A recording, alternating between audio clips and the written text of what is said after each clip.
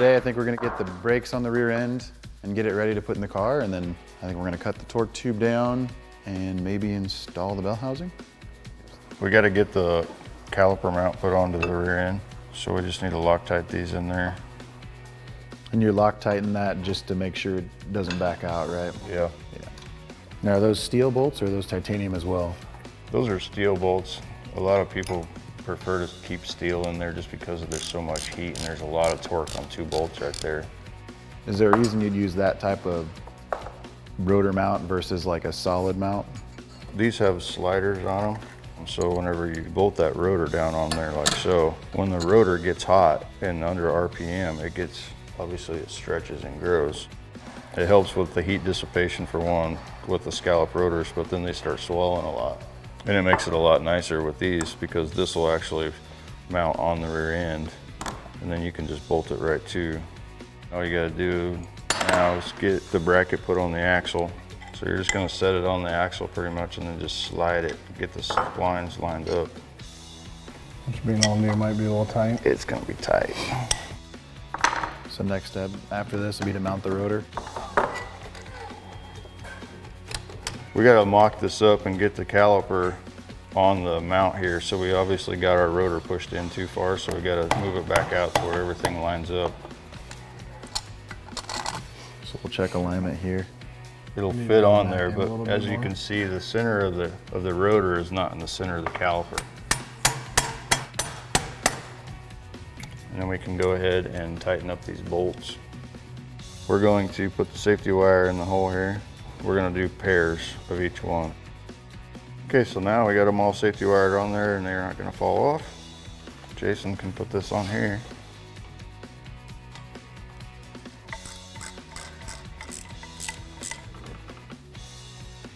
All right, so flip this up. So we're gonna be putting the torque tube studs in the top. There's two separate holes there, so if you ever get in a crash and rip one of them out, there's another set that you can rotate it and put another. Zach's coming over to make a video. Oh no, you're part of the shoot now. Yeah, you're in it now. Way to go, Zach. You walked in at the wrong time. We got our Winters shifter here, and there's a quick release ball that comes with it.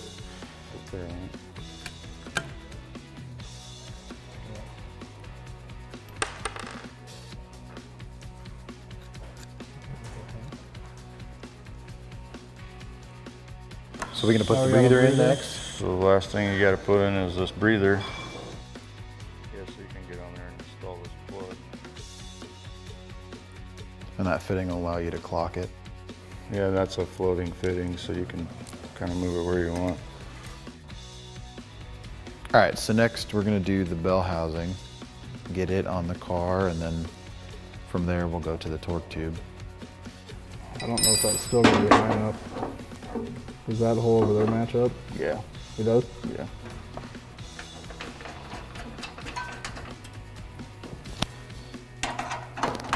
Next, I think we're gonna cut the drive shaft and the torque tube down and get those ready. A little bit of bandsaw work. We're here at the bandsaw and we're gonna cut down the torque tube. What measurement do we need to cut it to?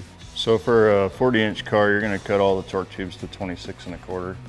Um, the drive line is gonna make a difference depending on what rear end you have, but ours is gonna be an internal coupler, so it's 29 and a quarter.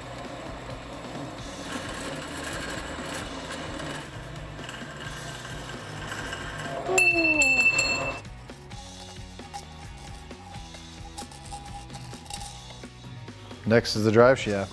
The drive shafts are gonna be two different splines on each end. So the one that's the coarsest spline is the one that goes inside the rear end. So these come at 30 inch lengths and they need to be cut down to 29 and a quarter.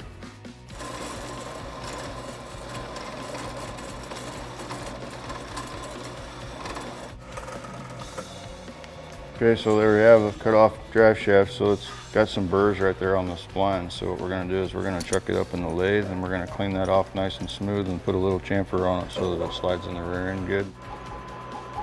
Now, if you don't have a lathe at home, what else could you use to cut this down? A lot of people have a bandsaw or a chop saw or something, so you can cut it down with a chop saw, and it's not extremely important to get that nice and square. It's just uh, eye appealing to make sure that everything's right. Well, that's done. We got the torque tube cut down. They're ready to go in. Rear end's all assembled. Next time we'll have a couple different guys in and we'll get the rear end installed in the car.